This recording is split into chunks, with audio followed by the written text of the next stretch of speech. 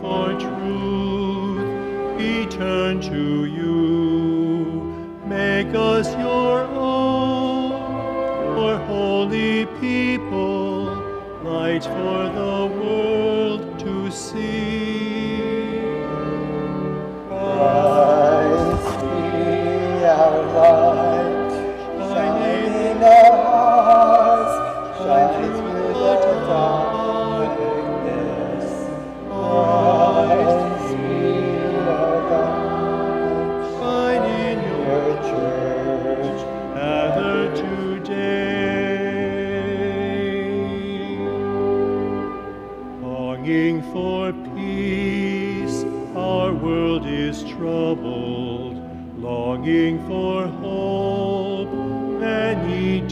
fair.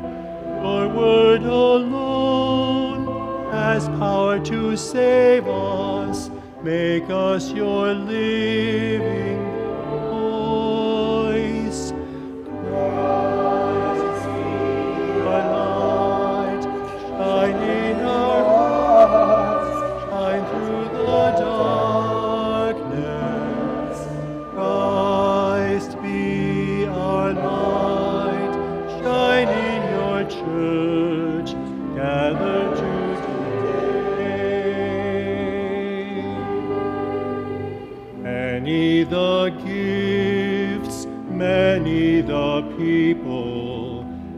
Many the hearts that yearn to belong. Let us be servants to one another, making your kingdom come.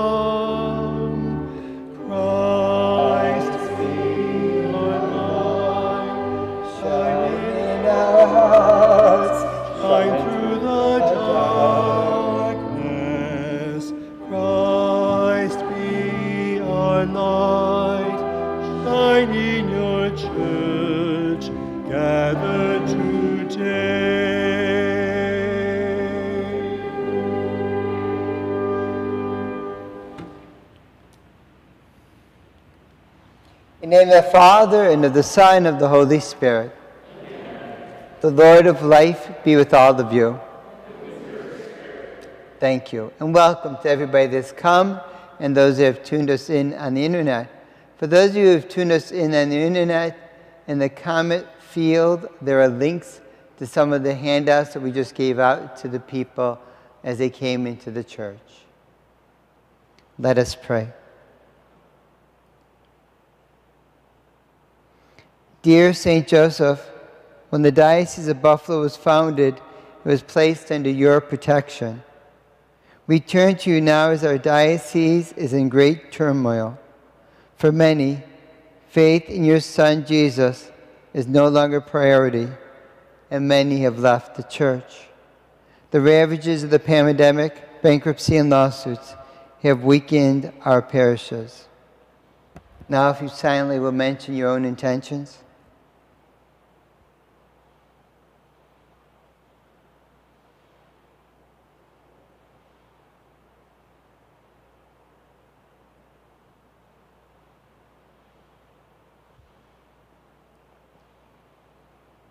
Even though there are many problems and the road to healing is uncertain, we know that your intercession in heaven is powerful and that you will come to our aid.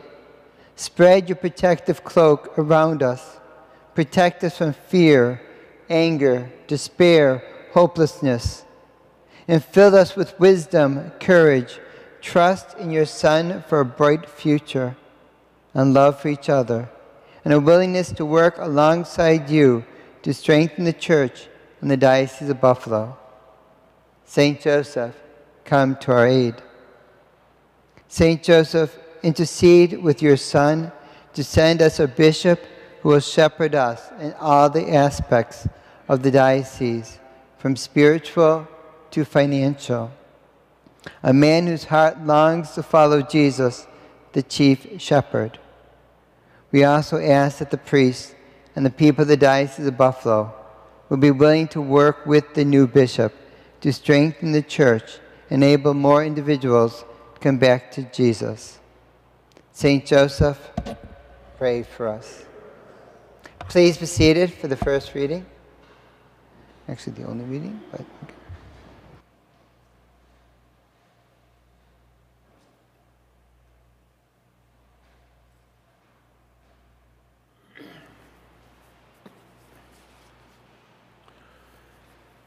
A reading from the first book of Kings.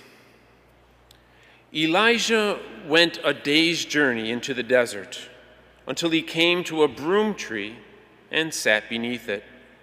He prayed for death, saying, This is enough, O Lord. Take my life, for I am no better than my fathers. He lay down and fell asleep under the broom tree. But then an angel touched him and ordered him to get up and eat. He looked, and there at his head was a hearth cake and a jug of water.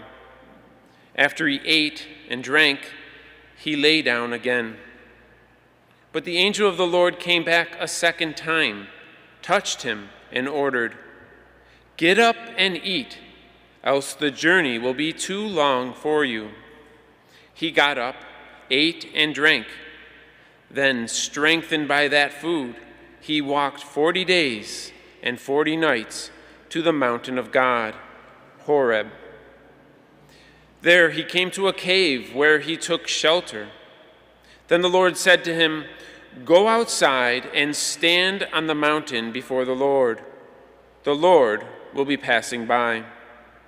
A strong and heavy wind was rending the mountains and crushing rocks before the Lord. But the Lord was not in the wind. After the wind, there was an earthquake but the Lord was not in the earthquake. After the earthquake, there was fire, but the Lord was not in the fire. After the fire, there was a tiny whispering sound. When he heard this, Elijah hid his face in his cloak and went and stood at the entrance of the cave. A voice said to him, Elijah, why are you here? He replied, I have been most zealous for the Lord, the God of hosts. But the children of Israel have forsaken your covenant, torn down your altars, and put your prophets to the sword. I alone am left, and they seek to take my life. The Lord said to him, Go, take the road back to the desert near Damascus. The word of the Lord. Thanks be to God.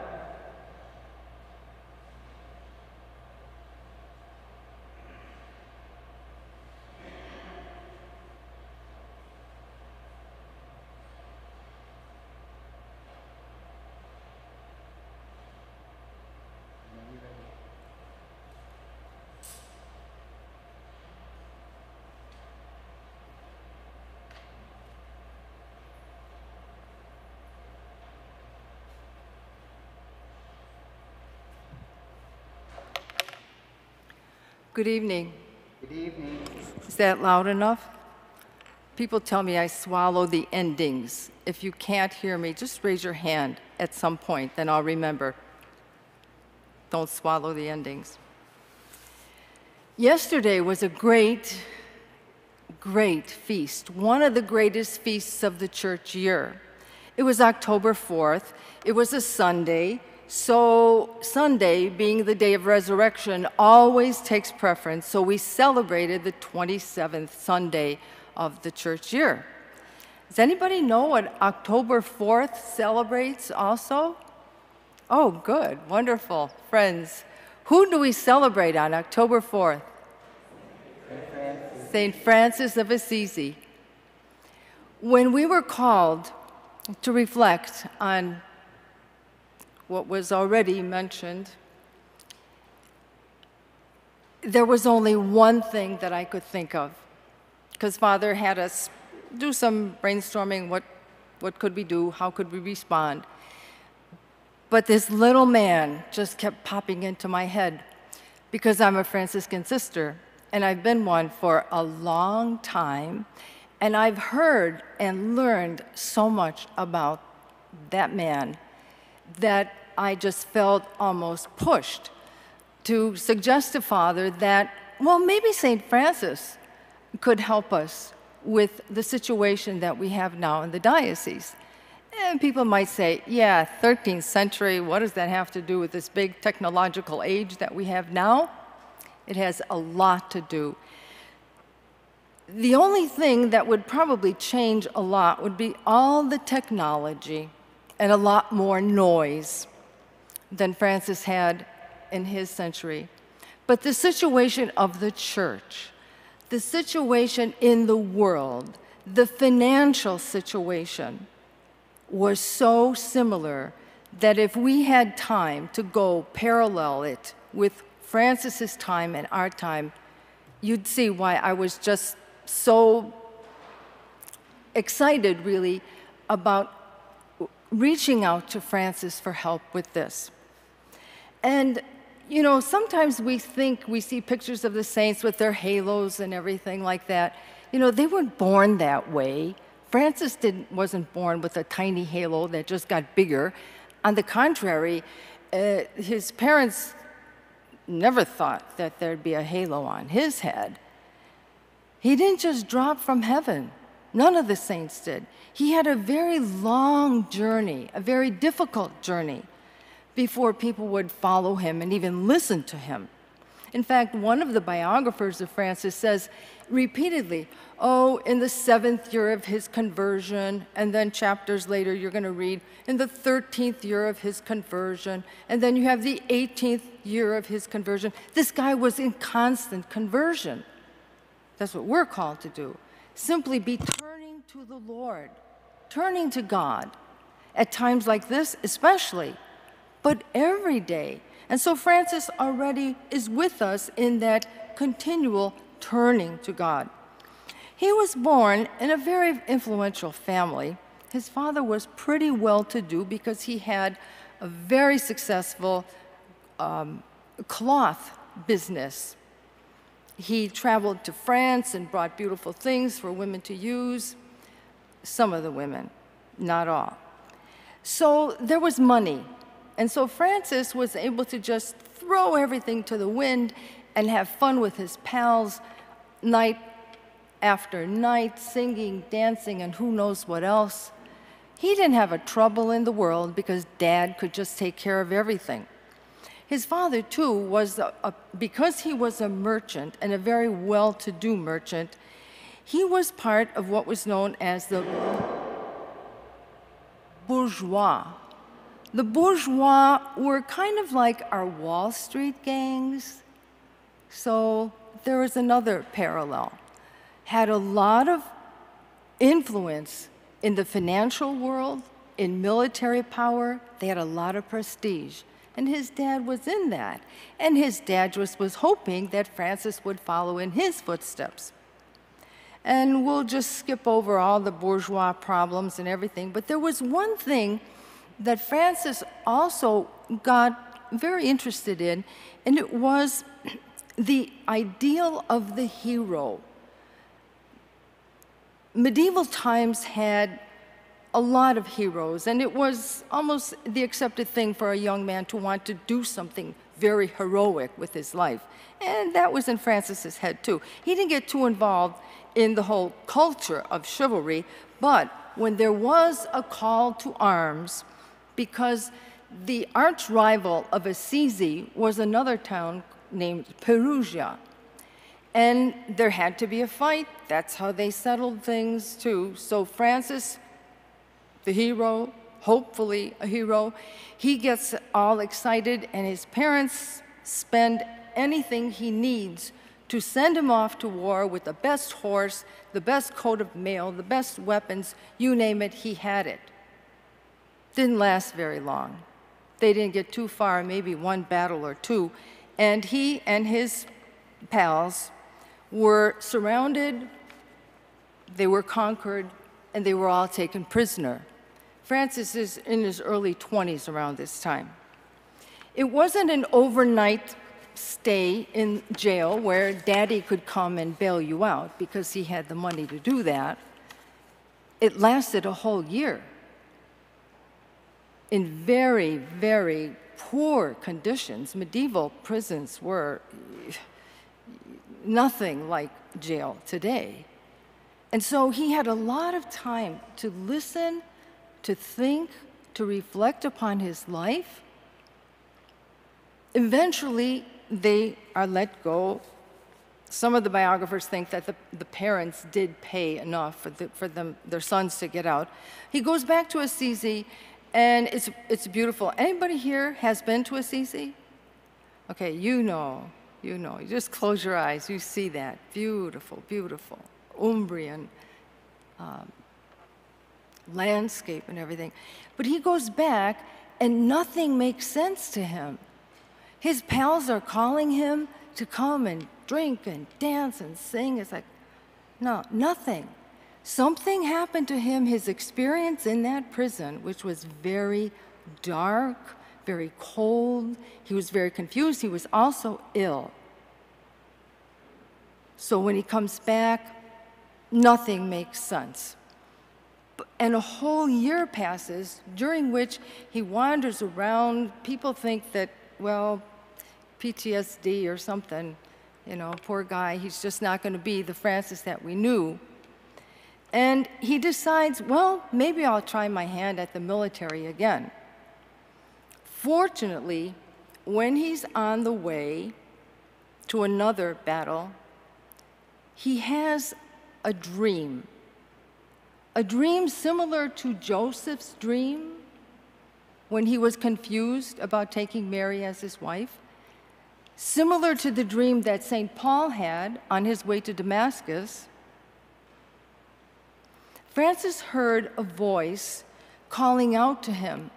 Someone was saying, Francis, where are you going? And he answers, to Perugia to fight for Assisi. And the voice continued, From whom do you expect more, the master or the servant? And he answers, Why, the master. And the voice asks, Then why are you following the servant? He knows this is not just a voice. He senses in his heart this is something life changing. And he actually answers Lord, Lord, what do you want me to do? Similar to what you just heard from Elijah, when he has an encounter with Jesus, with, with God, he's told, go back. Go back to your country. We'll tell you what to do. Francis hears those exact words. Go back to your country and we'll show you what you're supposed to do. Now, don't get the idea he goes home, there's an email waiting for him with all the directions, with what he's supposed to do. It took a lot of time again. Francis has to wait, he has to listen. For what? For something that's going to show him which direction his life should go. And one of the things that he did at time that we know at that time, he walked around a lot, and beautiful, it's easy there was a, a real rundown church, not like our beautiful church here. And in the church, there was a crucifix, much larger than the picture of the crucifix that we have here. And Francis loved that crucifix very much because if you, if you look closely, the eyes of Jesus seem to be looking right at you. And his arms are open in welcome and almost in victory you notice that he's not hanging on the cross. He triumphed. And Francis prays before that crucifix. Church is abandoned, nobody's there, nobody's going to hear him. And he says, he, he prays what has become one of the most famous prayers for a Franciscan. He asks God, he addresses God, most high and glorious God. Bring light to the darkness of my heart. We heard darkness in the song. We heard darkness in Elijah. There was darkness in Francis's life, as in our lives now. He asks for right faith, not in all kinds of temptations all around him. Right faith. He asks for a certain hope not wishing, I wish this, I wish that. Wishing is not hope. Hope is solid. He asks for perfect charity. He continues, Give me insight and wisdom that I might know your most holy will. How could God refuse him, right? When he's asking for the treasures that God wants to give us. So, after years of waiting and listening, Francis seems to hear something in his own ears, and the crucifix continues to speak to, to Francis, and he actually hears the words, Francis, go. Elijah, go. He hears a direction, he hears a command go. And what does he hear?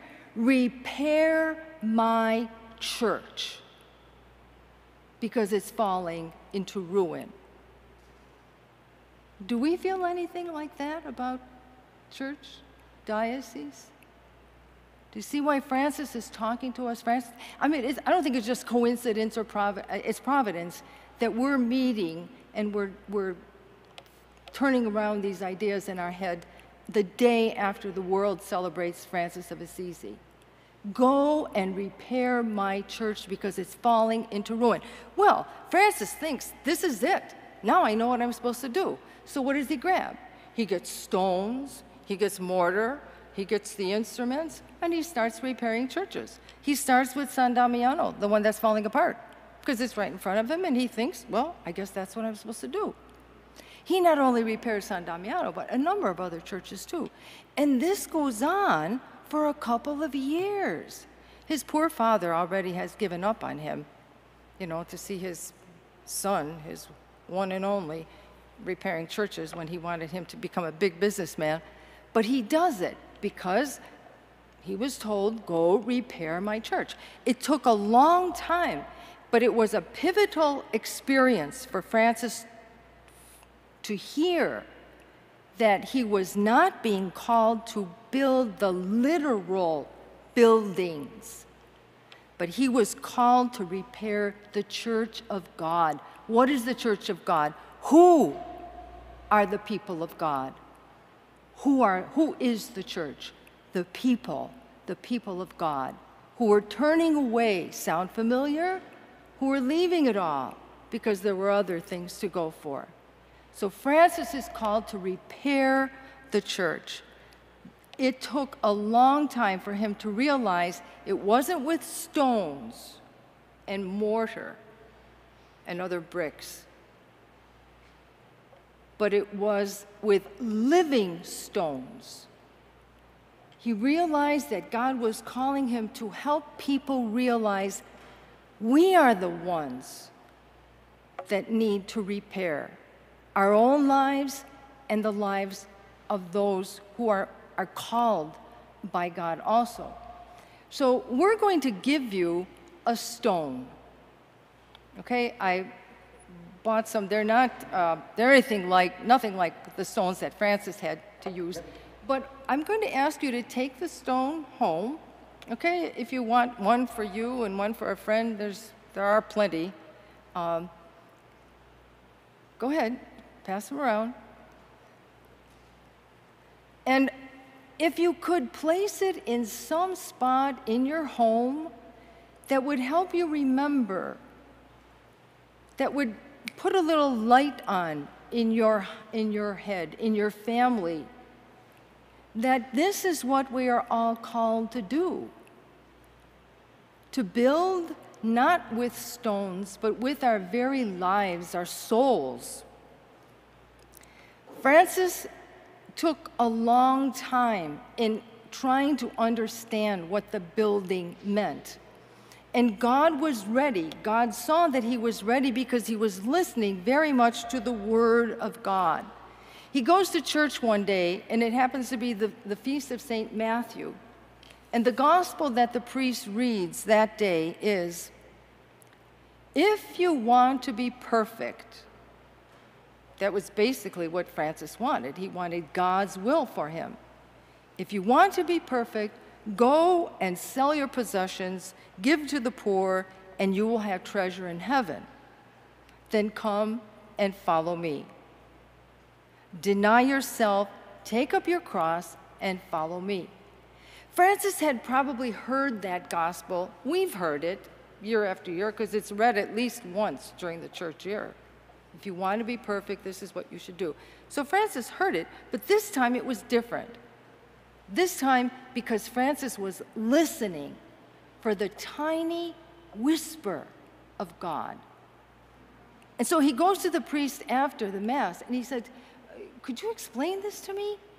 Uh, it's, I'm not sure if I really understand what this means. And so the priest takes him word by word, he explains that gospel to him.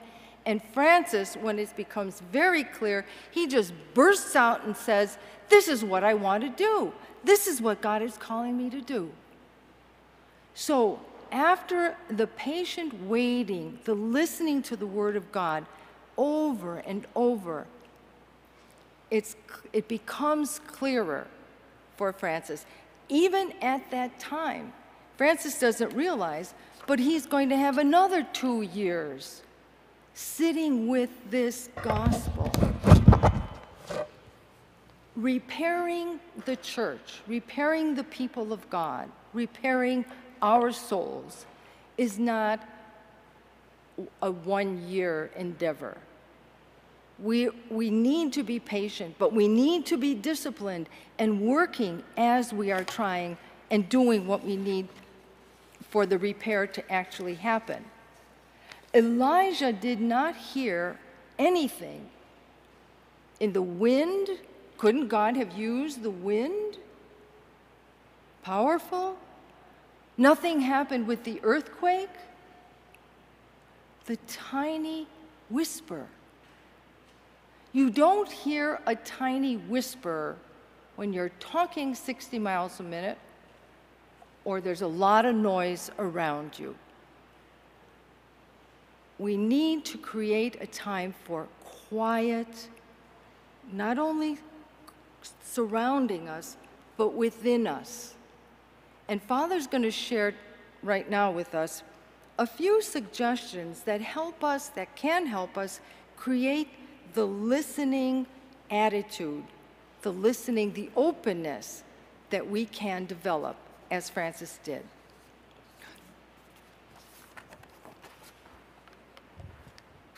So, in a few moments, we're actually going to get into us listening to you, or me personally listening to you. But as Sister was saying, with that point, we want to not just share what we feel or what we're thinking, but we really want it to be rooted in Christ. So, just taking a few moments to just calm yourself down, taking a few deep breaths, sometimes using a sacred word. Um, and when I say word, I don't mean literally a word, but maybe a phrase like the Jesus prayer Jesus, Son of the living God, have mercy on me, a sinner. Or any of those things. Just kind of take a few deep breaths, maybe close your eyes, and just let go of today. Let go of all that you might be thinking or feeling, and just ask the Lord to fill you like St. Francis did.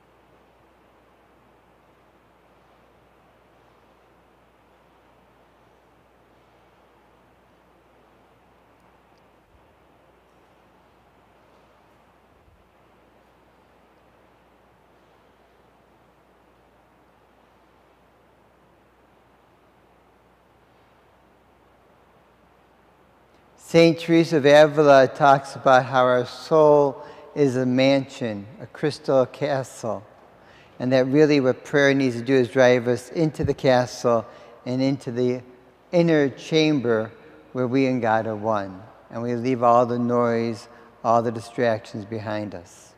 So, you might be, you've been sitting for a half an hour, so you might want to stand and stretch. In your folders, there are cards so if you have comments, questions, concerns, you want to write on them. We're also going to be bringing around a microphone.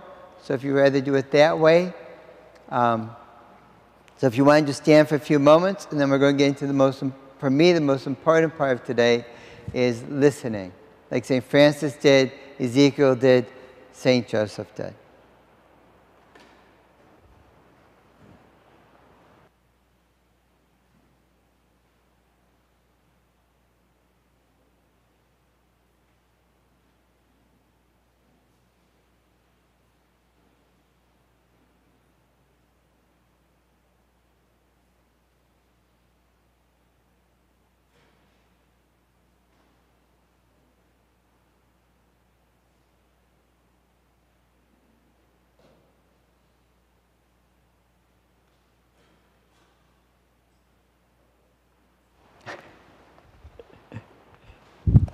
And remember, you're not allowed to throw your rocks at me, okay? this isn't Stone Father evening, okay?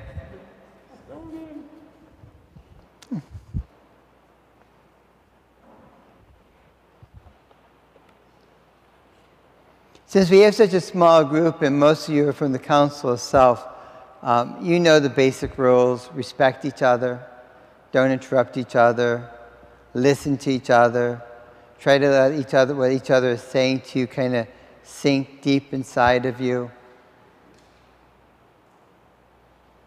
Um, do the members have, does someone have the baskets?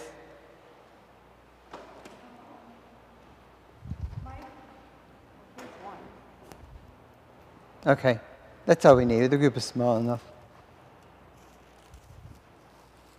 When you're ready, just kind of raise your hand or whatever, and you can just throw me your card. Not throw them, but. Any ideas? Any cards? No, no, no. Are we still writing? Good, good, good. I want to take this opportunity to let you know that I'm going to be running for President of the United States. So if you'd like to vote. I said, I'm running for President of the United States. yeah.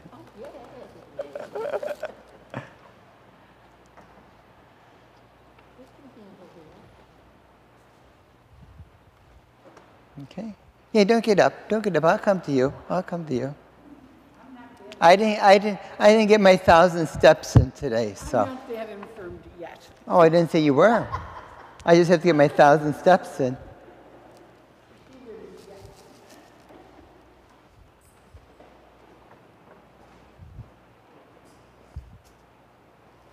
Now, of course, you okay? There you go. Patrick, anything? No, no, no, no, no. Okay.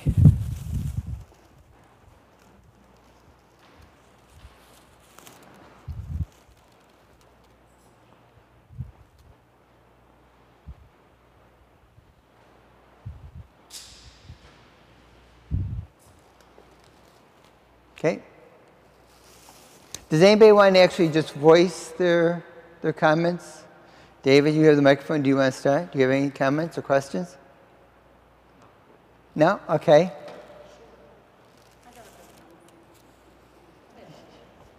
Okay. Yeah. over there.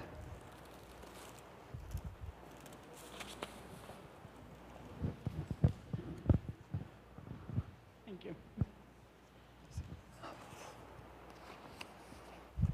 The church has, You have to hold it oh. up to your close. oh, okay. There you go. We have been living through this pandemic. Everyone has been sad, scared, upset, and frightened. When we came back to church, we said prayers and sang songs of healing. And what we need to do now is move forward. We need to celebrate life. The funeral is over as far as the scandal goes. We need to sow love and joy. We need joy. We need happiness. We need to celebrate that Jesus is risen. He is not in the grave, He is with us every day. And we need to show the world that we're Catholic and that we love Jesus and we love each other. And we're going to do it in joy and happiness, not in sorrow and renting of clothing. We need to be together and be happy that God is with us, not in sorrow. 25 years ago, my husband passed. It took me a long time to get over it. But I'm so happy I had him. And I'm happy to talk about him. We should be happy to speak about the Lord and know that he's risen And he's not in the grave, and neither is this church. None of us can stand to be in sorrow for seven months. It's hurting people.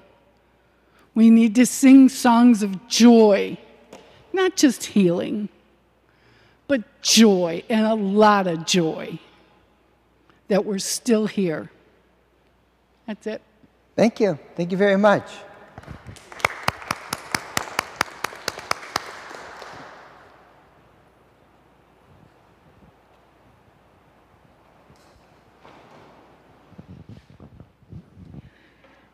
I think healing is first and foremost. Um, it seems that laity, you know, play a big part, but it means even more if it comes from the clergy or religious. And it seems that, in my estimation, there are a lot of people who aren't coming, who aren't giving and this has, you know, been universal, actually. It's not only our parish. But it's wonderful to hear the laity call these people and see how they're doing and find out maybe why they're not coming, why they're not giving.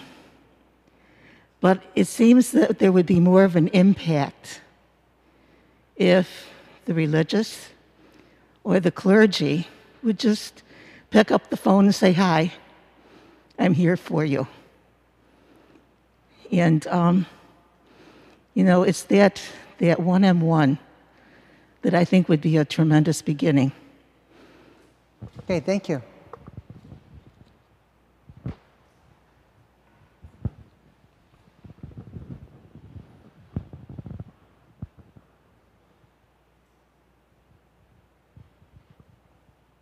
Okay, so let's, I'll do some of the comments that you wrote on the cards. Oh, sorry. Did you raise your hand? I got the card.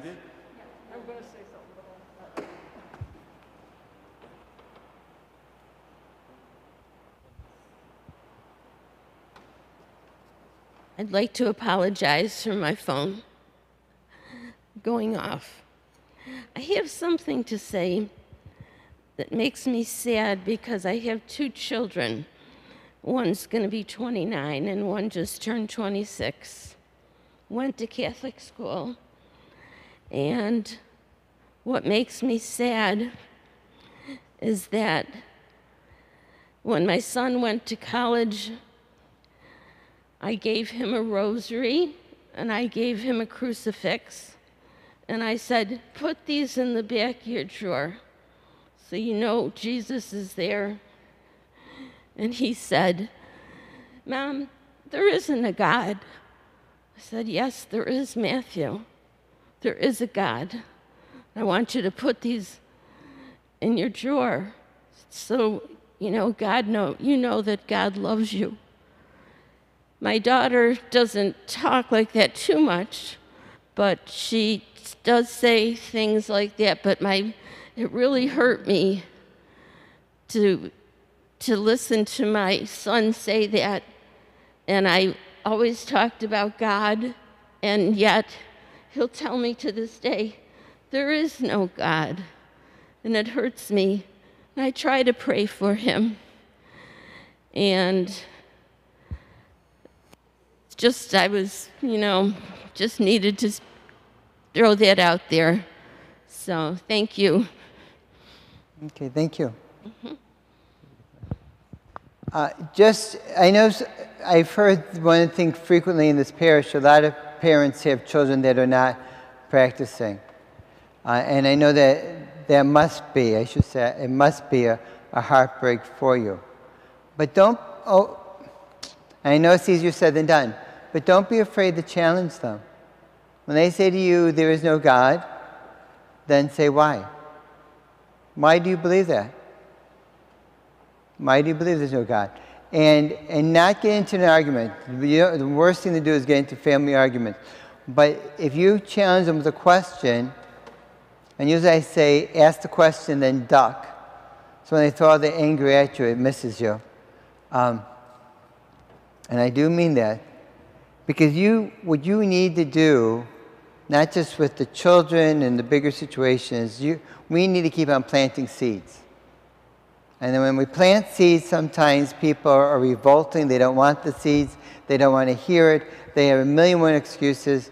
Um, I used to be a college chaplain at one point in my life, and I had professors at that university that would do anything that they could to make sure that when the students left the room, they no longer believed.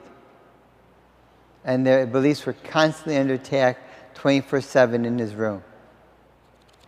Um, so, what we do is we have to be the opposite of that force. We just plant seeds, and they're going to get upset, they're going to get, but we don't want an argument. That goes nowhere. But sometimes a challenging question. And I say that because what does Jesus do? Many times in the scriptures, when something is thrown at Jesus, Jesus throws back a question. He doesn't throw back, you're wrong, or that's not right, or you should think this way. He throws back a question. And questions can be very non threatening in a lot of ways. I'm just throwing that out there. Um, we, we, one of the ideas that came up from the Zoom meeting for the area was um, Catholics Come Home program, which we used to run very frequently. It was a program designed to reach out to people like your children and just kind of invite them, say, you know what? Here, it's a night of coming, presentations, talks, laughter, food, whatever. And it was just designed to say, you know what? Give us a second look. So that was one of the ideas that came up to redo in our area. Okay. Anything else before I? Um... Thank you. Yes, Paul. Just a comment. You know, I think we have to stop blaming ourselves. Yeah. Yeah, I think that we have to stop, as parents, blaming ourselves for our children not going to church. No. Um, you know, we've got kids that don't, you know, some of our kids don't go to church. We've, we brought them up uh, as best we could by going to Mass and, and teaching them our Catholic faith. And they're adults, and I think we just have to stop blaming ourselves um, as to, you know, what did I do to make them feel that way? Yeah. I, I agree a thousand percent with that. There are many other aspects that influence a child's life, not just the parents. So I agree. Don't, you shouldn't be blaming yourself. The only thing you should be, I think you should do, is periodically ask the Lord, is there something I can do to help them? Something I can do, something I can say, something I can send, something. But yeah, blame. No, because they're adults. I shared about the professors at the university. There's so many other influences that, that really eat away at their beliefs. Are we any closer to getting a full time bishop in our diocese? I have, I have no insight into that. I know Bishop Scharfenberger has been in contact with the Papal Nuncio. The Papal Nuncio is the Pope's lay ambassador, really, to the United States. Um, and all he says is that they've been in constant dialogue. So I don't know if that means we're getting in closer or we're just still farther out there. Can we at least be given some of the considerations which lead to any changes? This will make us better equipped to move forward. Can we at least be given some of the considerations? You mean what will make the changes happen or what the changes are? If you mean what the changes are, we have no idea what they are. I, I I have no divine knowledge from Almighty God. And if you, want, if you listen to rumors, you have everything. You have rumors out there which state very clearly that 14 Holy Helpers is the untouchable, that we will not be touched at all. And you have other rumors out there that are saying that 14 Helpers is closing. So if you listen to rumors, you can pick whatever rumor you want. There's no, um, there's no facts out there. Um, if you're talking about considerations like what, what will they be looking at?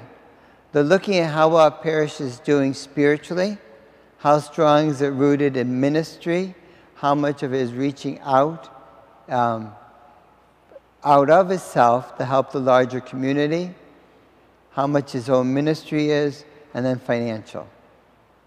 So it's kind of looking at all the different aspects of spirituality, which includes uh, public spirituality, which would be liturgical celebrations like the Mass, as well as private, what else is happening, are there missions, are there retreats, are there things spiritually, then how well the organization is doing, how well are we doing financially.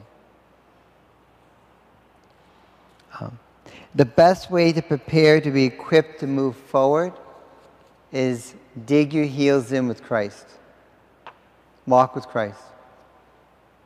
That's why on one of the sheets I gave you suggestions for prayers, I put down the stations of the cross.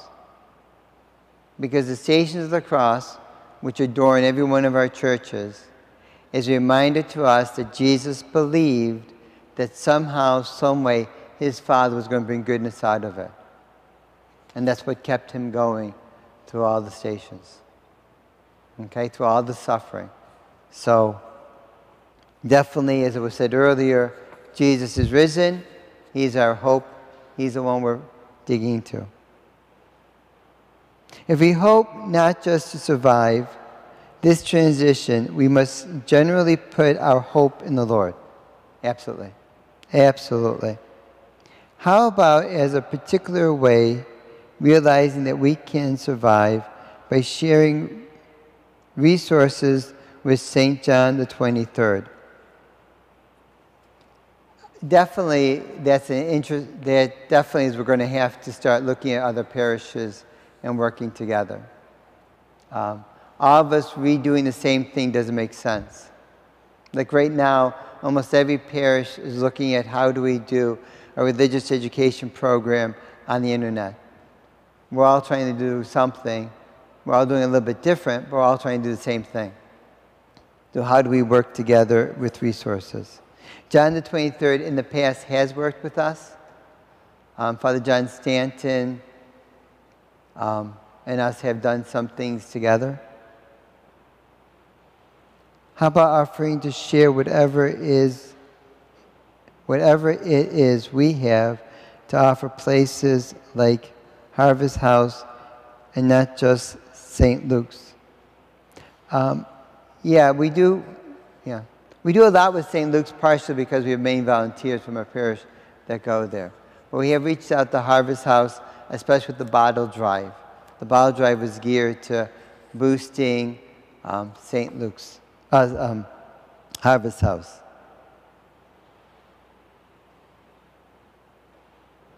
Well, we always we have to celebrate who we are and where we're going.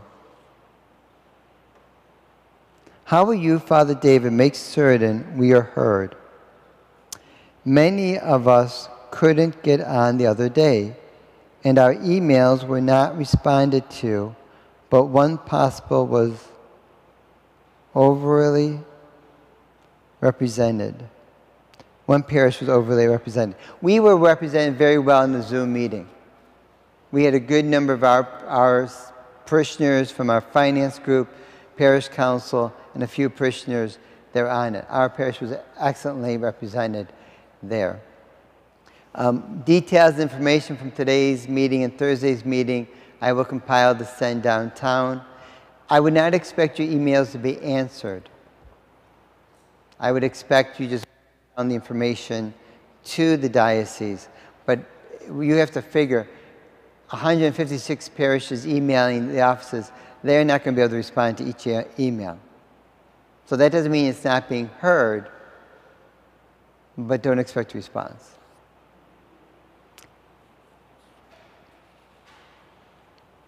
Our church needs to acknowledge that there are more single people in Western New York because they are. Okay. Divorced or separate. Okay.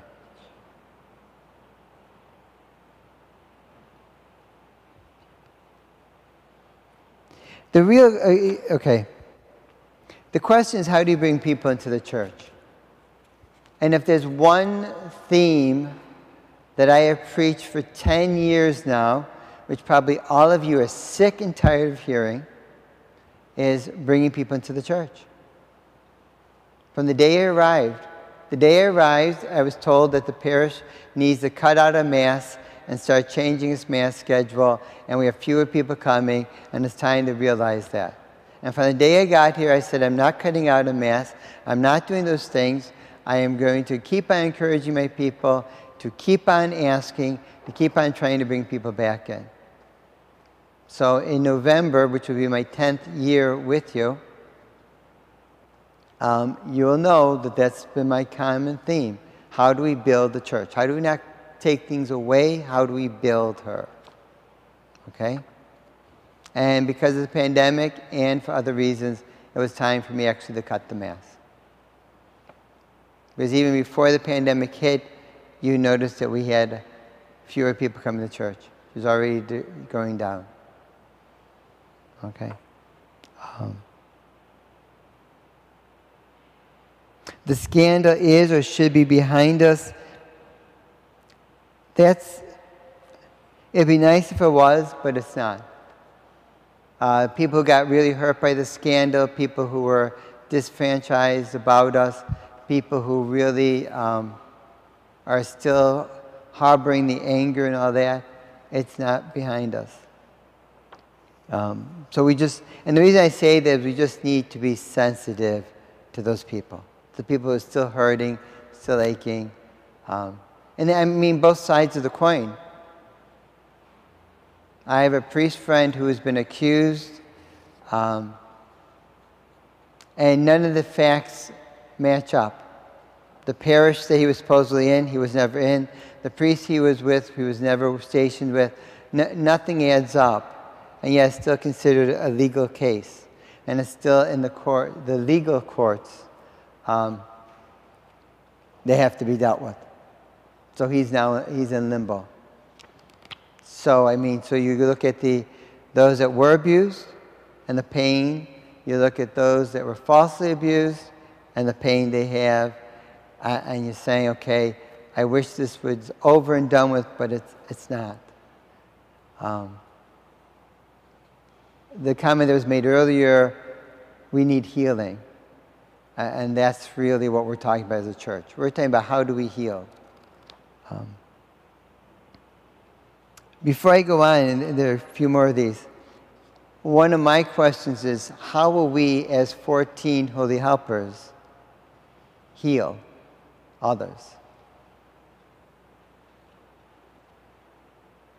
And I, I really think that. I think that we as a parish, because of her healing powers, need to become a healing force again. And I know that probably sounds strange, but we were at one time. We were at one time a church where people flocked from all over Buffalo to come here to be healed. Since I've been here, there have been healings since then and I've watched the, the saints miraculously work. So, how do we now, as church, say that this is a gift we offer now to the larger community? And I don't have the answer to that. I wish I did, but I don't have the answer to that yet. Um, in this word, world, there is enough sorrow, anger, and pain. It, it we as a church community need to show joy and love. Absolutely. Absolutely. We need to have hopefulness, a hopeful experience. We need to sing to the Lord of joy. He is risen. That's probably yours. Yep. Um, I cannot agree more than that. As we walk around with so many people hanging their heads low, it's, it's time to be a joyful people. Um, St. Teresa of Avila, if I'm, hopefully I'm going to quote her right on this one. She used to pray to Lord, save me from soured face saints. And, and what, is, what did Pope Francis do in one of his earliest documents of word? The joy of the gospel. The gospel is what brings us hope. The gospel is what tells us God is alive. The gospel is what tells us the Lord is walking with us. The gospels tell us that the, the power of the resurrection is real. The gospels is the power of hope. And unfortunately, sometimes we can look at the gospel and say, okay, I take this line out here, or I take that line out here, or, or I look at the gospel and says, be perfect as your heavenly Father, and, and then I go and get depressed on it and everything else. And, and what Jesus is saying, when you look at the gospels, they are, God, they're a message of hope. They're not a, a stick to beat you over the head with. They're a message of hope. The, the father and the prodigal son story is a great message of hope. God the Father always takes care of the good and the bad. Is a great um, message of hope. So we have to be careful ourselves because it's really tempted to do that, where we can take a line or a quote out of Scripture and then we get beat ourselves up with, and that's not the gospel. The gospel is the whole.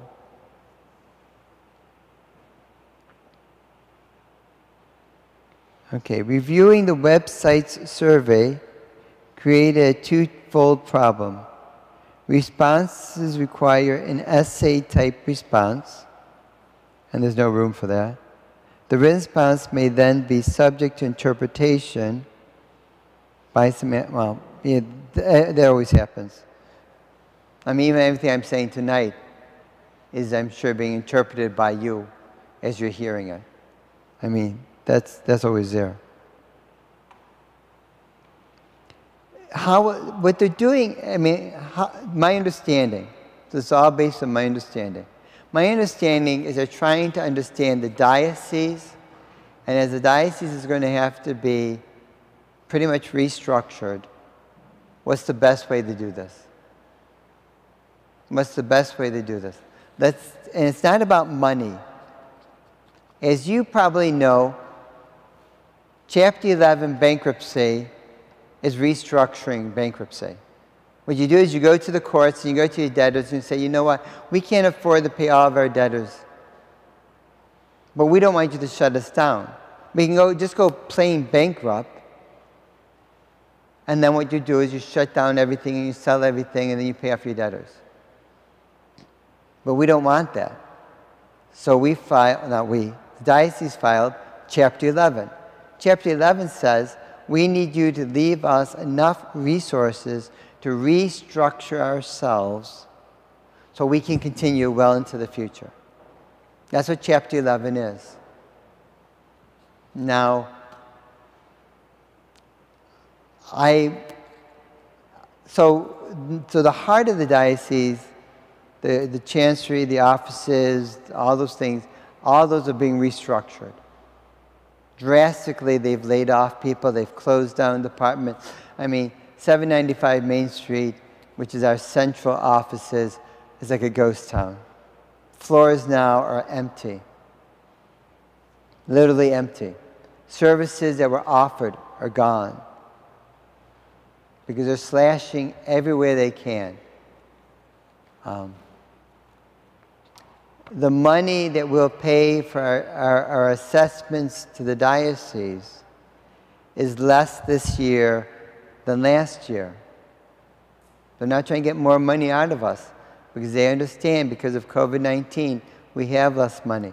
So those the amount that we're required to pay the diocese for services are left has been lowered. So I mean, so they're trying to think of everybody. Thinking of the parishes, they're trying to think of the diocesan offices, and the whole concept of restructuring.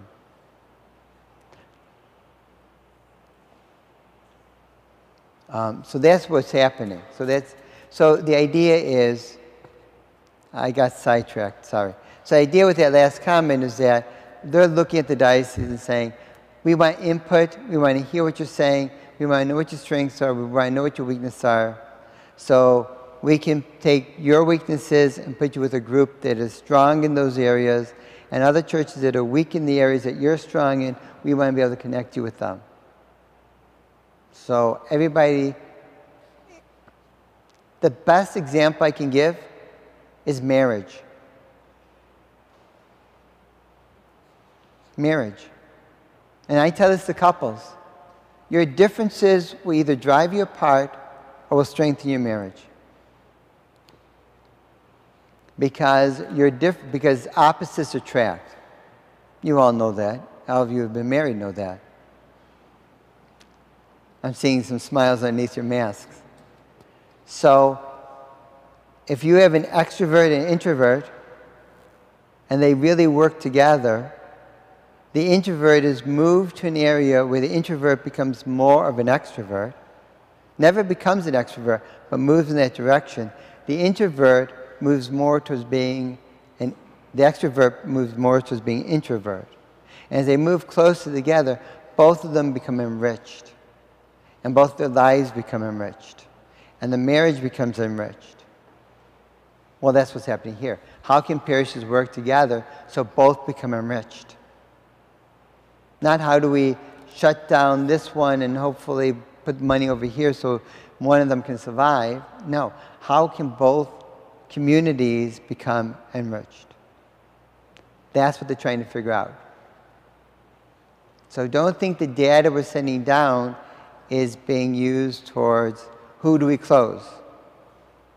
The data we're sending down in this journey to renewal, as I understand it, is how does everybody get enriched by the process?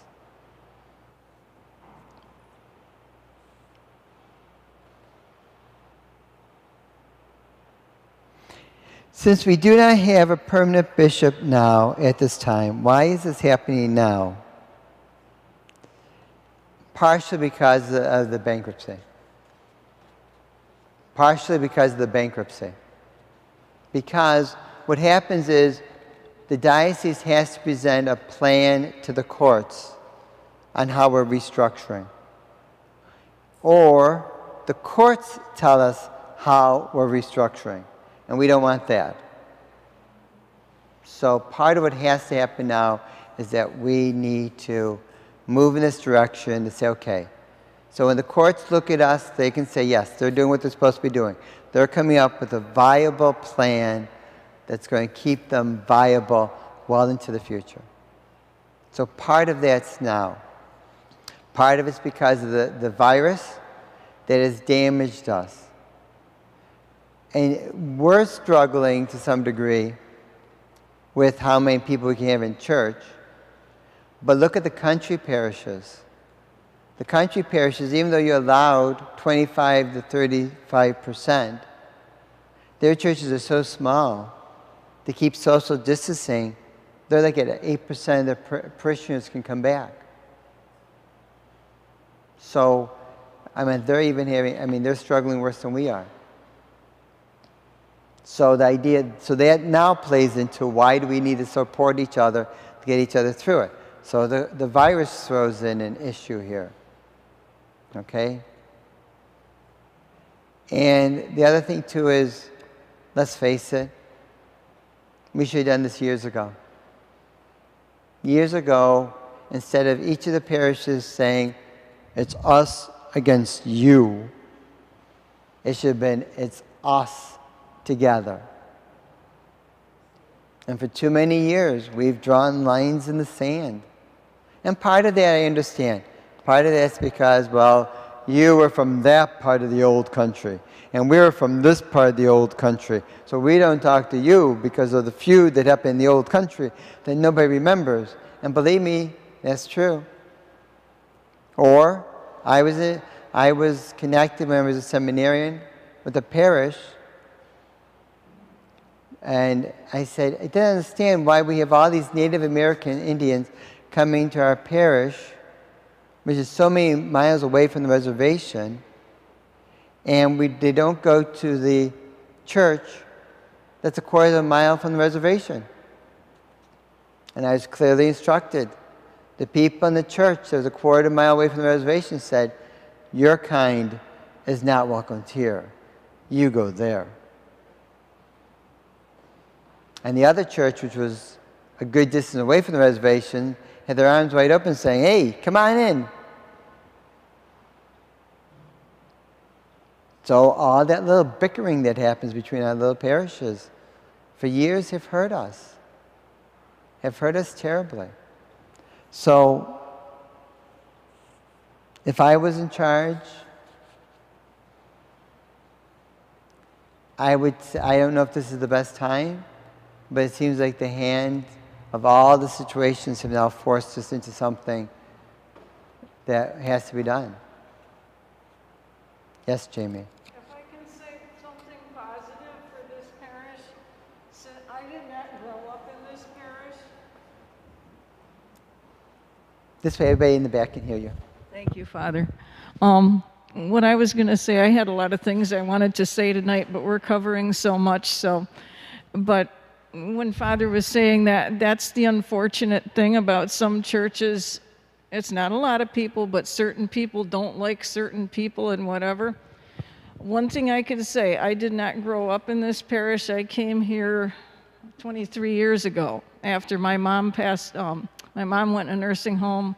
My dad passed away, and I came moved to Buffalo. I didn't know anybody here, and I met Patrick, and I joined the choir, and I met other people here. The one thing we really do have going for us as a parish, you know, they we talk about, you know, are they going to judge our financials or this or that? This is a very friendly family of people. And I think that the people in our parish should be very proud of that. It's something, of course, we can always work on, but we have an, a remarkably, truly Christian, warm, friendly bunch of people here. And I think if there's any way we, you know, who knows what this journey is going to involve. I know that we have a lot of people here that are very involved, that are very willing to help with whatever. And if we can market ourselves in any way on a human level, I say we push to tell, make sure people understand 14 Holy Helpers is a true Christian family, and that's what parish is about, and doesn't matter your race or your age or whatever, you are welcome here. And I think that's something that, that I can feel, I know my friends can feel it, and I think it's very important. So, so that is one really great thing that we have going for us, and I think we should be very grateful and just keep working on that. Thank you. Thank you for sharing that.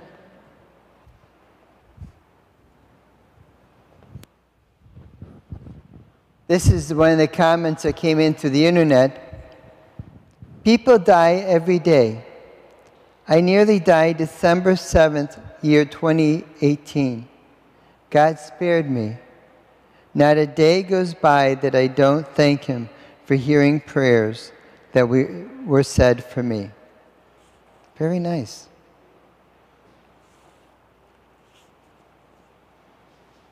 The bottom line is not all about financials and demographics. The ultimate bottom line church is faith. We have faith in Jesus Christ, his life, death, and resurrection. We, the people of God, like Peter, are the rock foundation upon which Christ builds his church. If we treasure, listen to each other, and learn from one another, we can revitalize and grow our community. Then all other things will fall into place. Very good. I mean, Christ is our rock foundation. And the key, and it's going to become on the next one as well positive and effective change can only happen when people listen to and respect one another. True leadership resources, empowering people and tapping into their talents and ideas. And, and that we've heard so often tonight. Respecting each other, listening to each other, trying to heal each other, trying to bring Christ to each other, focusing on Christ as we go forward. Other comments? Yeah. Thanks, David. When I first read about all this with renewal and everything, I thought, boy, this is bad timing. Really bad timing because we can't even get our people back to the church that are normally here every weekend. They're staying at home watching it on TV because it's very comfy. And I, I mean, I stayed home and watched it in the very beginning also. But I missed getting the uh, Holy Eucharist at communion. I miss being with my family from 14. Some of these people don't care. I think we're going to lose a lot of people in the end, anyways, no matter. I mean, we pray for them. We have hope that it won't happen that way, but I think we are going to lose a lot of people, which is going to hurt us. And I don't want anybody to get down because of that remark. That's my own personal feeling. Um, people just, uh, like I said, when this COVID ends, what are they going to really do? Well, I don't know if it will end, but I almost feel they should be coming back to church now. I know it's the law, or the governor or whoever says we can't come back in groups, uh, like as smaller than, be closer than we can normally be. But uh, I don't know. I just don't see an urge from the people that I have seen uh, that have been sitting at home. And I, I'm not pointing at any elderly people. I came from a very elderly parish before. And uh, we closed. Not to say that I, I think we've got a lot more going here that we would, I, I don't even enter in my mind about closing here. But I just thought this was a very bad timing. I've been in the stewardship, I've been in renewal in the parish, I've been in anything that came down the line just to kind of work with people. And a lot of them will just say, I watch TV on, I watch Mass on the TV. I pray to God. I talk to Him every day. And I said, but the, my main purpose is that I go and receive Him. And I feel we all should be doing that and listening to His Word. But a lot of them do say that. I'm a good Catholic. I believe I'm good. I was baptized. I was this, I was that. And I listen to Mass on TV, and I do, you know, say my prayers and talk to God. Those are tough answers to give to people like that. I, I think, um, just kind of responding to that, uh, it came up at the parish council um, meeting, my last parish council meeting, that one of the saddest things you don't see is people don't hunger for the Eucharist. And, the, the hungering that needs to happen um, that would drive them back. Or, or they say, you know what, okay, I watch on TV, but I can't wait for the day I can get back. For, for a group, that's not there. Now, on the positive side, from what I've been told, there are more seekers who are seeking Christ now, or at least seeking God. Let me word it that way seeking God now more than ever because of the pandemic. I, have talked to some younger men who, who have told me their friends now are seeking, they're seeking God because they're trying to seek some kind of understanding to this pandemic and all that's happening in the world and the violence and everything, the whole, the whole problem of the world.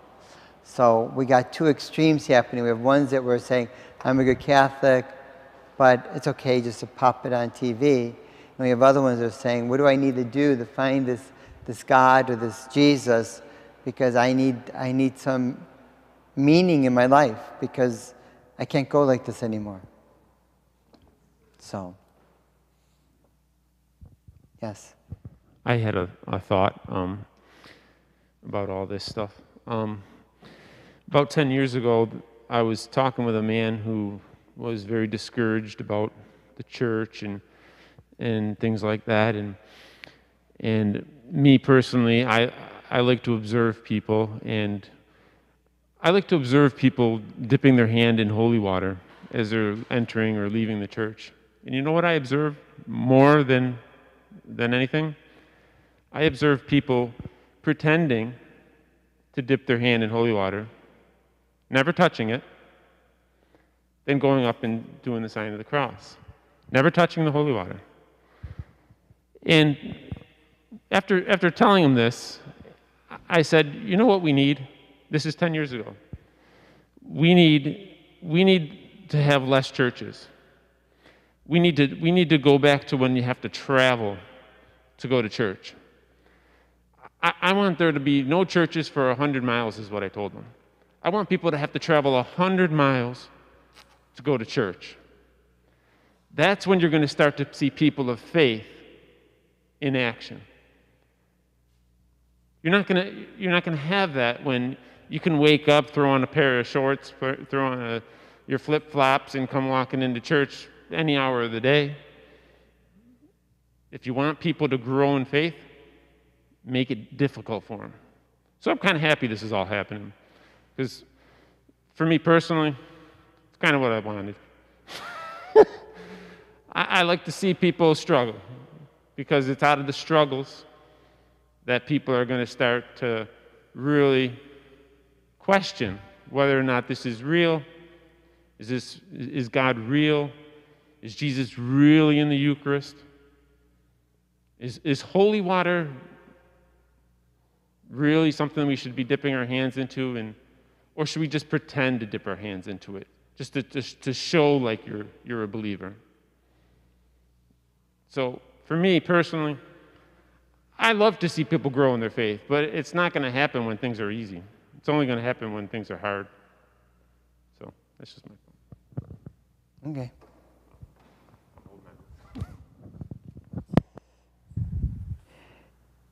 Question that came in In order to grow the parish, is this parish prepared to embrace the needed change to attract families?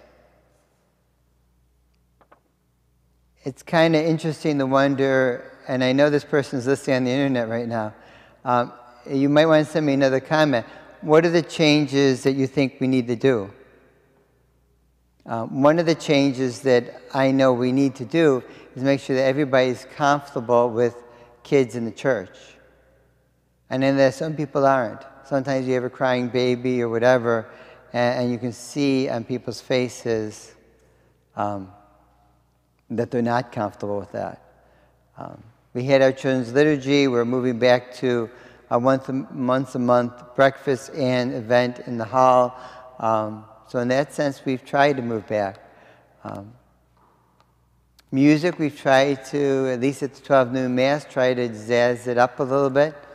Um, but, and I'm not, whoever you are that sent this in, um, I'm not putting you down because I know myself there's more we could do.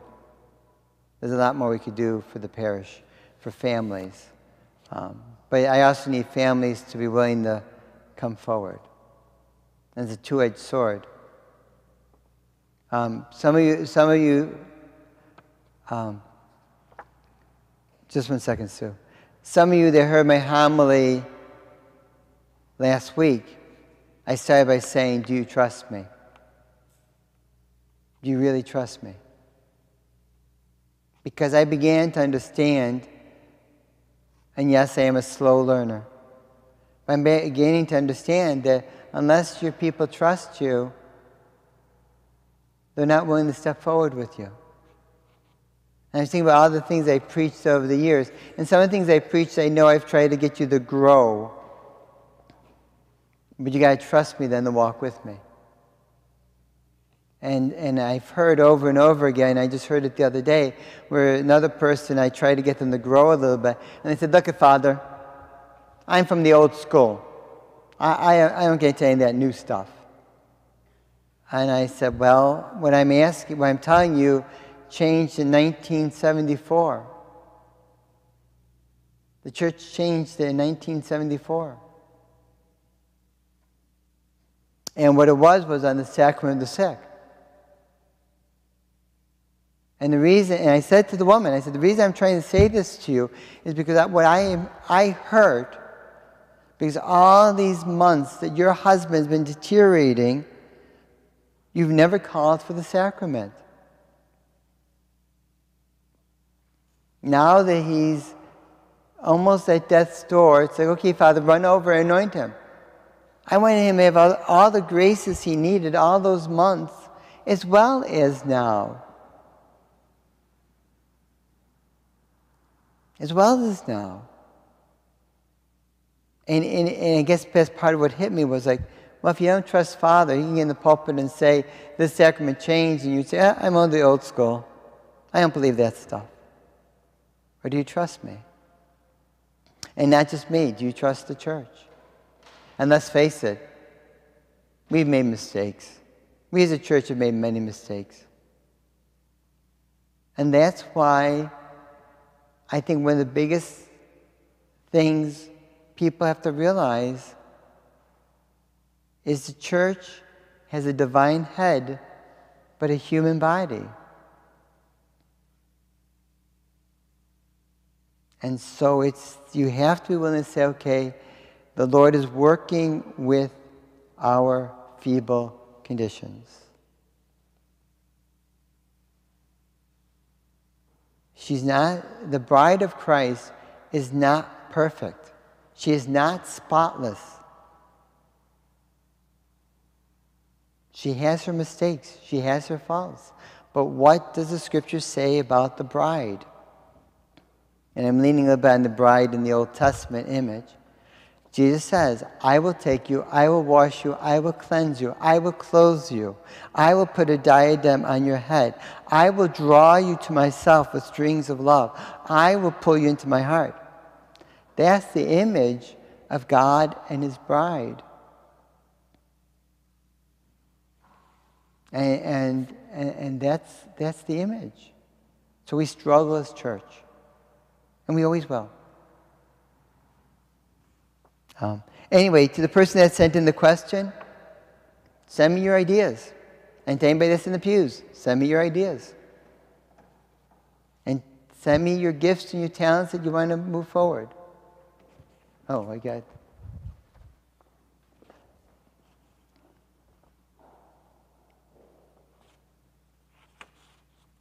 I am the one who's been staying home because of my age and health. My family, who lives in town, I have only seen four times in the past six months. They are concerned about me and afraid if I get COVID, I would not survive. Miss the Mass, the Eucharist, and the people. Life gets lonely, but we, can, but we do the best we can. Thank you. And there are people like you that I know that are in that boat and I've met them.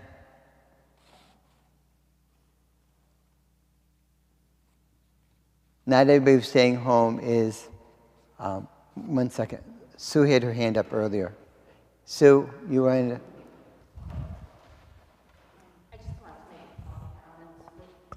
Thank you. First of all, um, we need to get the, the young people back into this church. I've noticed when we volunteer for things, there are just a few people that are always there at everything, but we need to get the youth in here because we're the last generation now that is going to carry this church, and we're all getting old. I mean, I'm almost 60 myself, so we need to do that. Also, we need to be open to change. I've worked for companies where the people say, Well, we've been doing this for years. Well, that's nice, but things need to change, and we need to be open to them. That's all I have to say. Thank you. David, you had your hand up?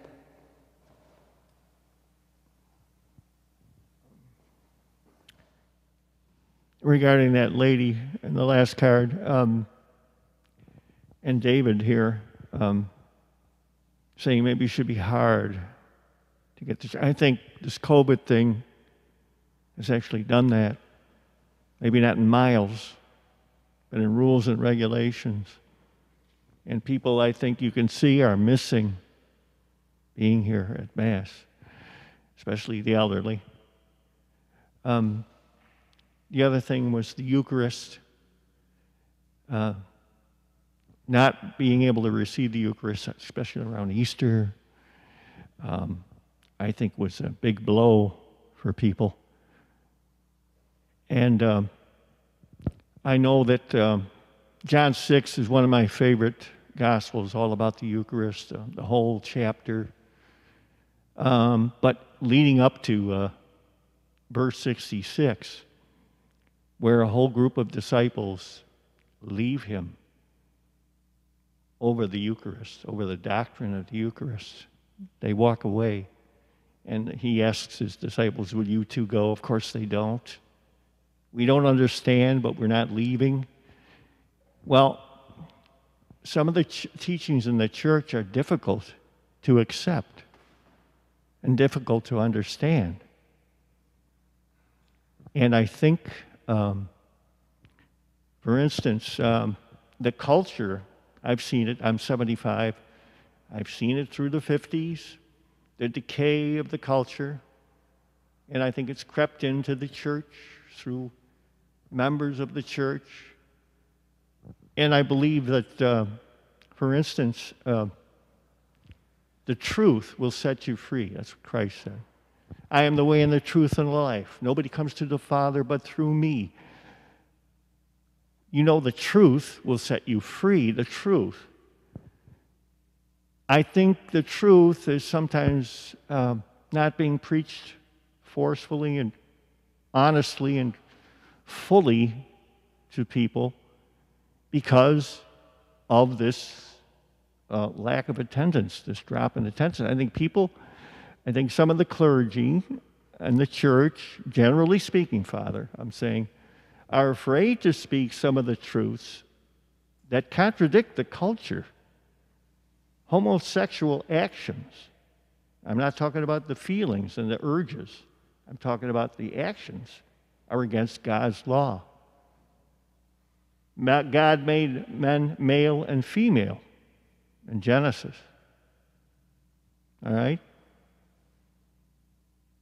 Um, the attack on marriage, free love in the 60s, um, premarital sex, that's wrong. That's, is it being preached? Are we afraid that they're going to walk away like those disciples did over the Eucharist? I think it's just my personal feelings that uh, some people will walk away, but other people will gravitate to the truth. They'll accept it, the hard truth. That's just my thoughts.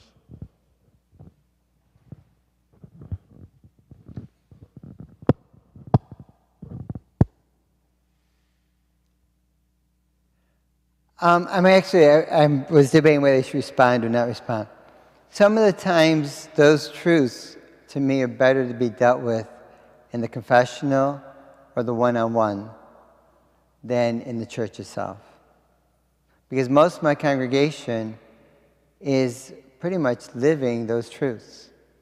So for me to get up on Sunday, next Sunday, and say, okay, I'm going to do a, a homily on homosexuality and I could be wrong though. Maybe that's what I need. Maybe I need to do something like that so they could take it to their children or whatever. I don't know. I don't see it as I'd rather have someone come to me one on one and deal with it. Or when I was at the college campus, that was a lot more challenging when I would preach to the college kids. I, I'm, I, I'm not, I'm just saying because I think other priests come from where I'm coming from too. That's all I'm saying. So, um, it's true, though. I mean, it's always a struggle. It's also, and you've heard me say this once in a while, every blue moon. I wish I was a Baptist minister. Yeah, I do. Hallelujah! All right, yeah, hallelujah. There you go. Okay, there you go. Uh, yeah.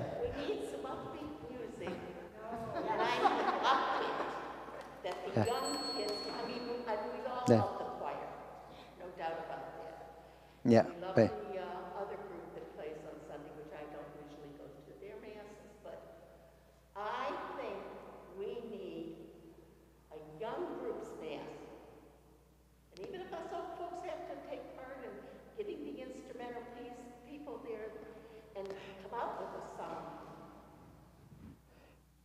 I- I Okay, let me get back to my point about being a Baptist minister, before, and then we'll talk about your point. That's okay. Only because, and he doesn't have to be a Baptist minister, but there are other ministers that you get to preach an hour on a Sunday. I mean, and I wouldn't want to ever preach an hour, even though I am long winded. But 30 minutes, so you can really get into a topic and really open it up and really break into the scriptures and really deal with the issue and really, I mean, what a great gift that is. Now, I know, and I know my people, and this is true in every church I've been at, so I'm not picking on 14 helpers. I know when I hit the 10 minute mark, noise starts increasing in the church. Books are dropping. Well, of course, now they know books, so I'm, I'm better off now. Kneelers start to fall. And then when you start getting to the 13 minute mark, it starts getting more, more noise, and who's getting up to go to the bathroom. And you just watch it happen. You just watch it.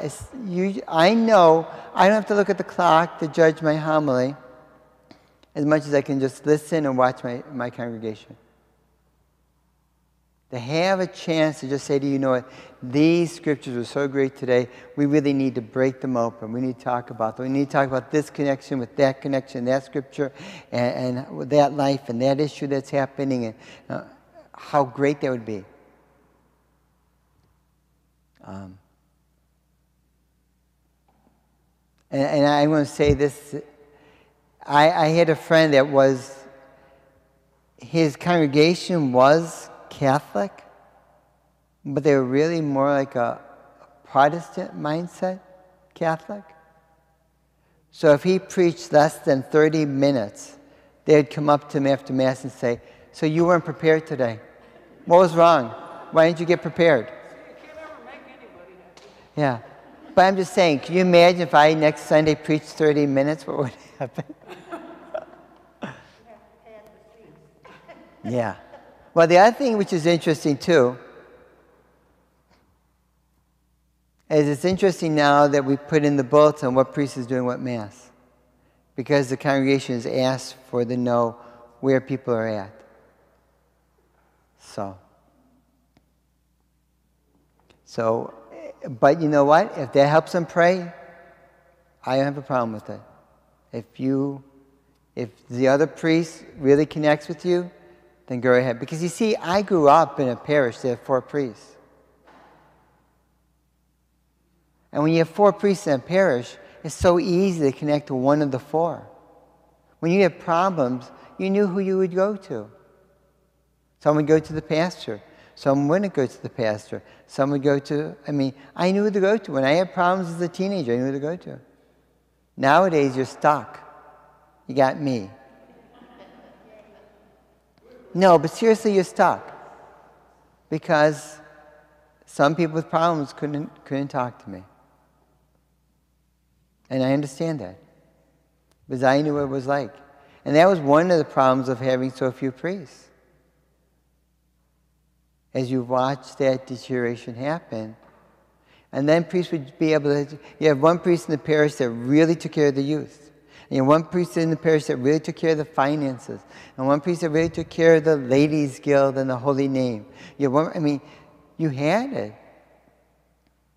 And you have four priests at the dinner table sharing ideas, talking things out, encouraging one another. And then in your schools, you have the religious sisters. God bless the religious sisters.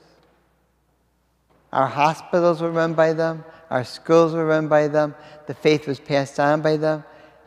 I'll bet you you can talk to almost every priest, except maybe the younger ones, and they'll tell you their religious sister had part of their voc- helped them in their vocation. I can. Sister Mary Ann Huffling played a very important role in my vocation. Sister Alma, Sister Eugene. Sister Alma was only this tall. Sister Eugene, if you sneezed, she would fall over. And where were they? They were in the inner city with the rough kids running a rough school and, and taking care of them. And one of little side story, which is kind of funny, but I think I'll tell you, is that one time the kids were ready to pin sister against the wall, but the pastor was walking through. And he had muscles on him like you wouldn't believe. He picked the kid up and put him against the wall, and his feet were dangling. and he says, You will behave. But even that, so, did the sisters leave? No, they didn't leave.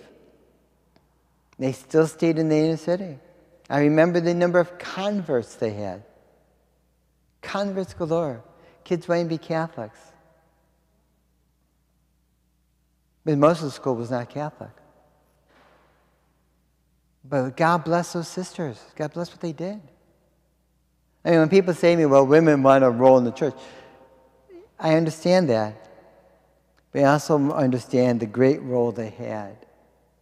Because the church wouldn't be where it is today if it wasn't for those sisters. It wouldn't be. Never would be. They were the backbone. And the youth, they're a whole different problem right now. I mean, I, I, I saw one of our, our young adults well, he's not a young adult, he's a high school kid. And I said to him, Oh, so it's so nice to see that you're back to church. He looked at me and said, Well, we go every week, Father. I said, Well, I haven't seen you.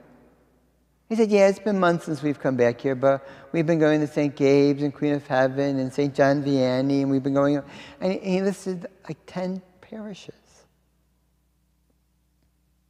And that's a norm. That's a norm before the pandemic hit. That was becoming a norm. No commitment to one parish. So they're a whole different issue. Why? Because if you aren't committed to a parish,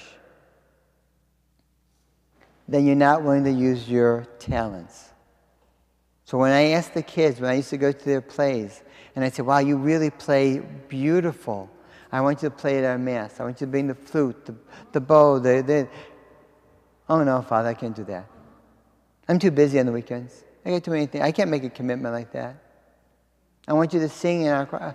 Can't do that. So, yes, Stella, I would love a youth choir and I'd love a youth mass. Matter of fact, I had a woman who was going to do a youth choir for us until the pandemic hit.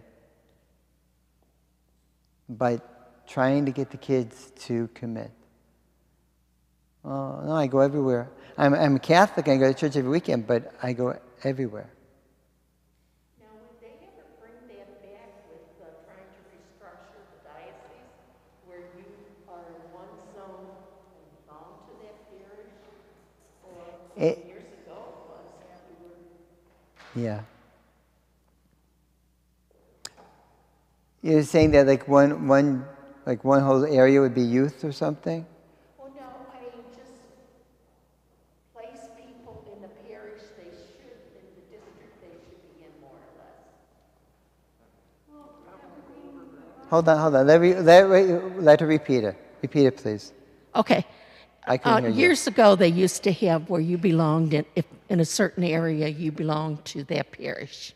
Oh, yeah. And you were kind of, that's it. You go there. And then, nowadays, like you say, we have them wandering all over the place, even though they might be from this area. Do you think the diocese? No, because people, it's people who made the choice. I still have territorial. By canon law, I still have a region that I am responsible for. So I said my territory. But, but for people, what? I'm, I'm sorry, I interrupted. I just Yeah. wanted to know, she means that you make it mandatory that people go to the church in their That's how it used to be. You, when you lived within these streets, you lived in the territory. Because by canon law, if you looked at the our parish region, anything within those borders, I am spiritually responsible for. All the people in those areas, whether they're Catholic or not Catholic, whether it's a nursing home, a hospital, whatever, I am responsible for the spiritual well being of it. But it's the people who change the, not the laws of the church that change, it was the people. People would go wherever they want to go. I like this priest, I like that priest. I follow this priest, I follow that priest. I like this person. So people just so fluid now.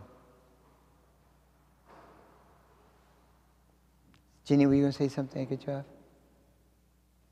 It was just, uh, if we followed the guidelines, then I would be saying goodbye. Oh, yeah, well, that's true. Yeah. And what Stella was relating, like our parish, 14 Holy Helpers, the boundary was my family's house on Indian Church Road, and what was St. William's and now is Blessed John the 23rd was the other side of my parents' house, all the way up to the other side, uh, up to um, the Buffalo Creek. Creek. So, yeah, that was like the division. And then Queen of Heaven was the other way.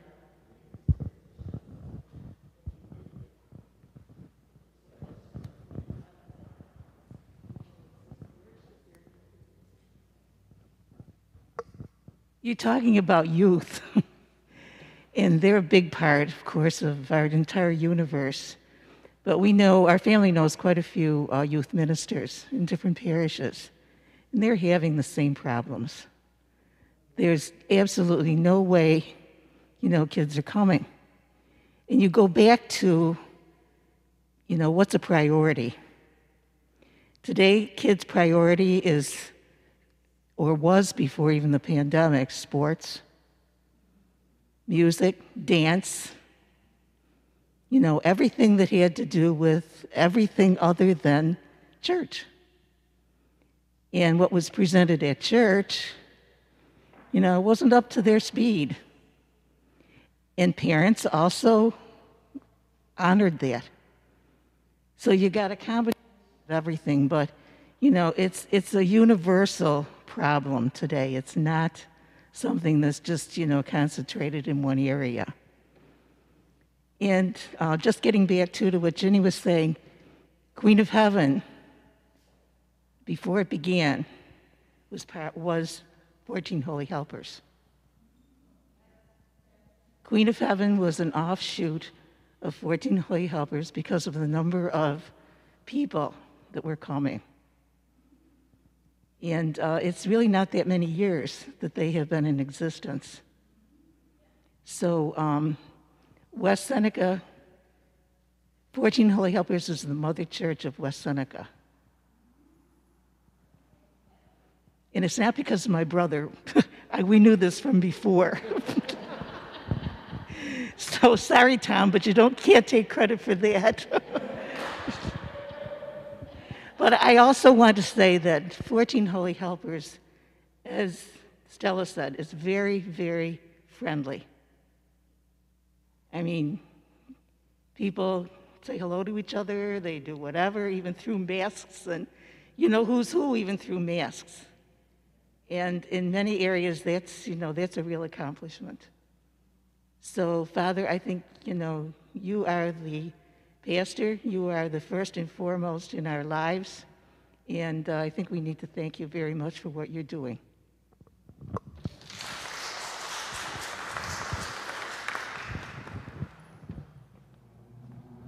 Well, my, my line is always a pastor is only as good as his parishioners are behind him. So thank you, because you make me look good. So, okay. Yes. I just want to say one thing. Like Ginny, I grew up seven houses down from church. And I'm very, very proud that I grew up in this church and did for my whole life. And that's all I want to say. It's just this is a wonderful church, and it was a big part of my life. Thank you. Thank you for sharing that. Okay. So what I'm going to do at this point, um, just a few very quick things. One of which is, you don't need to take out your folders, but I'm going to run you through what's in the folder. The original letter from Bishop Scharfenberger and the 10 points, or 12 points, I didn't count them, uh, about the whole process. The letter from me, which has in it what I promised to do for you and what I'm asking you to do for the parish um, about staying positive, staying faith filled. You can read that later. The prayer that I use today, the St. Joseph, is a special prayer written for our diocese of not just what's happening, but the bottom half is about the selection of our bishop. Um, I would suggest, encourage you to pray it if you so do it. You also have in there some good points to keep in mind when you're dialoguing with other people. Try to hear what God is saying, try to listen. I will review everything tonight again. Um, I first started taking notes in the beginning, so some you saw me writing, and I thought, wait a minute, this is being recorded. I can watch it later. So let me, so let me, so let me listen. Let me listen and not take notes. Um, and at this time, to kind of wrap up the night, um, Sister will lead us in the prayer of St. Francis. Um, and you'll see that's a little bit different. It's, uh, it will have the line from the prayer and then a little reflection with it, and we'll work through it, and then I'll give a final blessing. Uh, one more thing, sorry, I forgot something. I, I need a copy. This is not Here, the here. same formula that, it's the same thing, but I think it's broken up. It should be right in there. Yeah. Okay. Um, I have a new email set up for you. It's called Parish Input. Pretty much every day, every other day at least, I will be checking it. So any input that you want to send me, ideas about the youth, ideas about bringing back your children, ideas about what's going on, your worries, your frustrations, whatever it is, shoot it to me that way. If you don't have email, um, on the outside of the envelope, either write parish input or road to renewal. And that will, have, that will give special attention to me so you can keep in contact with me. You want to send comments to the, to the diocesan offices? It's right in there. Um, I think it's renewal at buffalodiocese.org. If you want to take the survey to put your input in, you have to have the internet, of course, and it's road to renewal .org. .org? SB.org. SB.com. SB.org. Okay, that information's in there on the sheet with my letter. My letter's at the top, and that's on the bottom part. Um, I, I have, and, and I think you know this already, I have dedicated myself to walk with you. Um, I will do all that I can to be. Um, I'm wearing the school jacket. I don't know if any of you noticed that. Um, and the reason I wore it tonight is because the school motto is virtue and truth. All the logos, all the times was put out, was virtue and truth. And I'll do my best to be virtuous, and I do my best to always give you the truth as I know it. Okay? So are you set? You want them to read that with you, or you want to just read it to them? No, we're going to do it together, but we're going to do it a little differently than the whole thing altogether. Okay, Okay. you all, ha- they all have. They all have it, so take it out. You all have a- just a plain white sheet. It says the prayer of St. Francis, a reflection on the prayer of St. Francis. Okay? We're going to do it like this. Instead of everybody doing the whole thing and getting lost, okay? My left, my right. Okay, the first paragraph, left, right, left, right, and then it's left, and the last one we'll do all together. Okay? It's kind of like uh, uh, the, the chanting, the praying of the, of the divine Of the office in the morning. yeah. You go one side, the other side. Okay? So, um, I know there's more there, but just let's do it. There's enough here. Okay, you're fine. Uh, let's begin. Let's begin um, uh, focusing to on on the patient listening that Francis had. This man is not dead. That saint is not dead, and neither are they. I, I was wondering why we. Ha- well, you can't do everything in one night, but we have the greatest uh, 14. Most parishes have St. Joseph's, uh, Blessed Angela, St. Hyacinth, one patron, right? We've got 14. That's a lot of power. And um, I, I'm, I'm new, I'm still new to the parish here, okay? But these saints, whenever I share the little booklet uh, on the 14 helpers with other people, they are just amazed at the power in the parish with these intercessors. So if anybody can help us, I mean, St. Francis is first in my life, okay? But the 14 Holy Helpers, I mean, I really think we need to draw from their power. They have a lot. Okay, so we'll focus on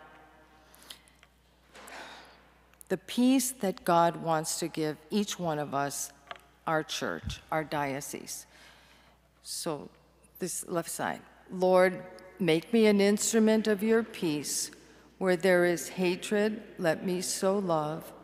When politics tempt me to hate the other side, when my envy delights in workplace intrigue, when my thoughts walk the paths of anger's edge, teach me to love as you have loved me. Where there is injury, pardon. When words cut sharp as knives, when idle gossip tears apart, when careless deeds wound deep, teach me to pardon and heal, as you have healed and pardoned me. Where there is despair, hope.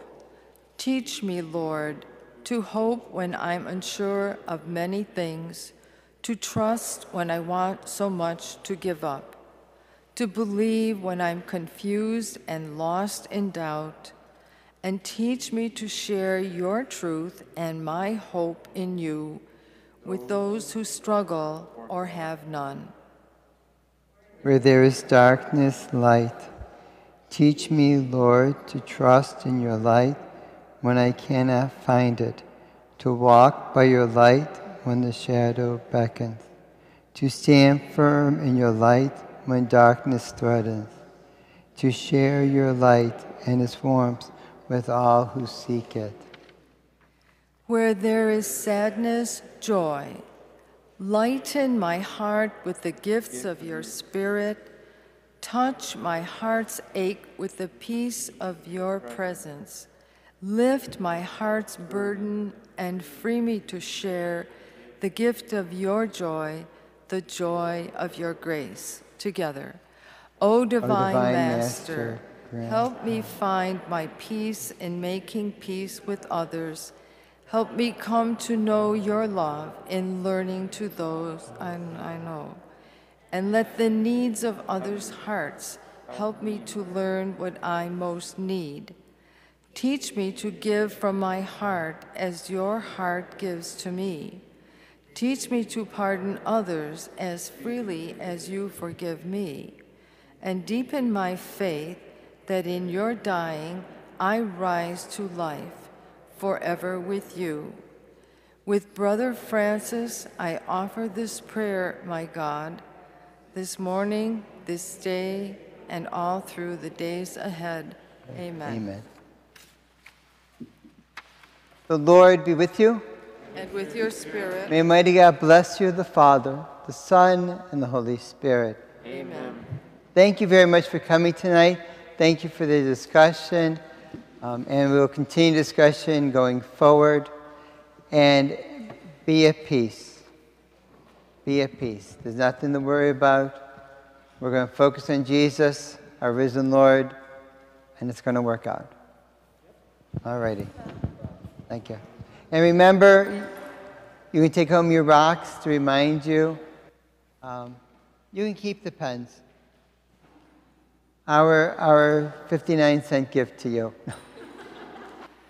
Don't forget to let the rock remind you that you are the living stones for the church, for for the helping. diocese. And, yeah. No, go, go, go. Thank you, sister. Do you want to take one whole